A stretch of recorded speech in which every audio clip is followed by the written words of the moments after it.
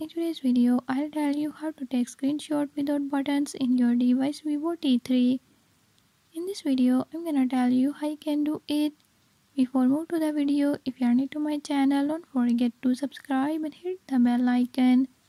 Watch complete video and learn how you can do it. Let's watch the video.